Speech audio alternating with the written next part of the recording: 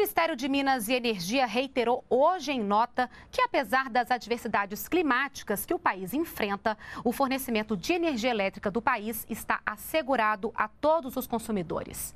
Ainda segundo o Ministério, atualmente o setor elétrico tem cerca de 127 mil megawatts de capacidade de geração, dos quais mais de 45 mil foram instalados depois de 2003.